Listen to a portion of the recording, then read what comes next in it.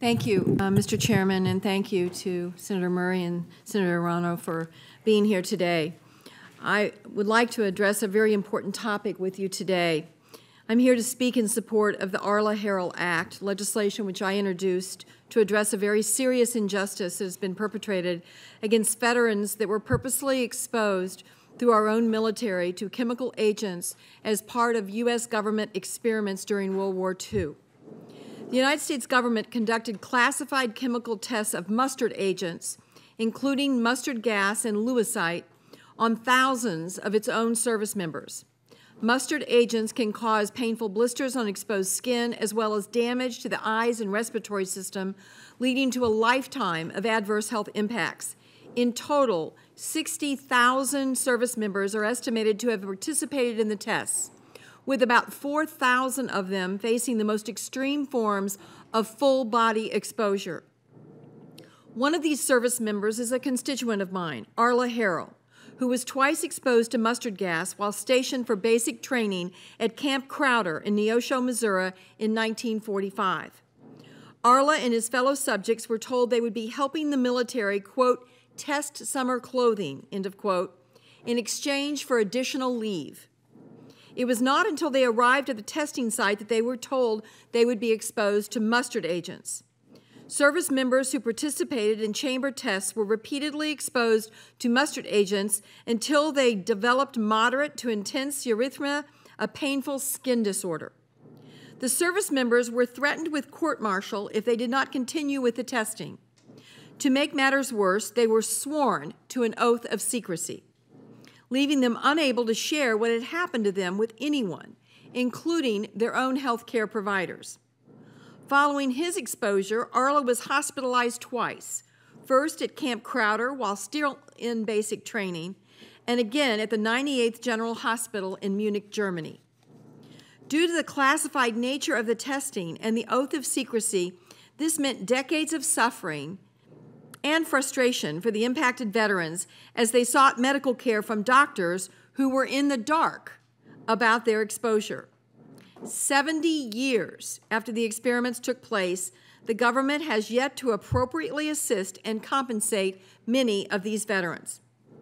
The VA finally established a process 25 years ago to compensate these veterans, but it puts the burden on the veterans to prove that they were exposed to mustard gas in order to make a successful claim. These tests were classified. The young service members were held to an oath of secrecy for more than 40 years. Records are incomplete. And for some veterans, a massive 1973 fire destroyed their entire service files. The VA established a burden of proof that is insurmountable to many impacted veterans. The VA has rejected approximately 90 percent of the applicants for VA benefits connected to exposure of mustard gas or lewisite. Of the thousands of veterans who were exposed during World War II during this testing, only 40 are receiving benefits today. Arla Harrell himself has been denied benefits multiple times, most recently just this month. The VA says it cannot confirm that mustard gas testing occurred at Camp Crowder and therefore cannot approve his benefits. This comes despite the clear statements from Arla regarding his treatment and the health effects he has suffered. And it comes despite the fact that the Army recovered mustard gas in vials in Camp Crowder more than 30 years ago. And an Army Corps of Engineers report identifies gas chambers at Camp Crowder.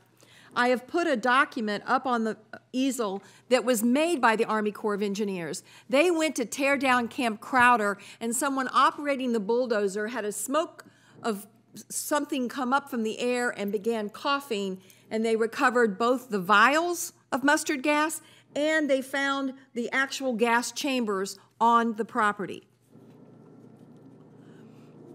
The Arla Harrell Act would improve the VA's consideration of mustard gas mustard agent exposure claims and address this terrible situation. Simply, the bill would flip the burden of proof for veterans who have already been denied these benefits. And keep in mind, it only flips the benefit of, of, of who has to prove this for the people who've already applied. And there's less than 400 of these folks still alive. So for 400 individuals who have already applied, it would flip the burden of proof, but it would not open up claims for anyone else who has not previously applied. So it's a very limited application. It would require the VA to reconsider all previously rejected claims for benefits under this program with the presumption that the veteran was exposed to mustard gas. Rather than the, require the veteran to prove exposure of a program classified for decades and decades and frankly only really known about within the bowels of the Department of Defense for many years, the bill would require the VA to prove that he was not. This is not a large universe of individuals, and all of them have previously made a claim for benefits.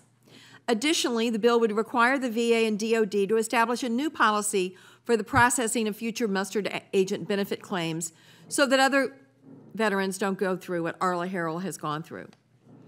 Arla and his wife Betty and their five children have fought for compensation for a service related illness for almost 25 years. They just want somebody to believe him.